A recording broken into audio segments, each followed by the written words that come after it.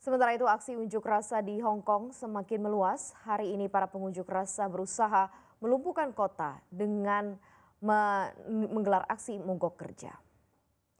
Aksi mogok kerja diprediksi melibatkan 14.000 orang dari berbagai sektor setelah minggu malam bersih tegang dengan aparat saat mengepung kantor polisi. Pengunjuk rasa hari ini berencana turun ke jalanan dan bandara untuk turut mengganggu operasional bandara. Akibat aksi ini, Cathay Pacific Airways dan Hong Kong Airlines memutuskan membatalkan ratusan flight dari dan ke Hong Kong.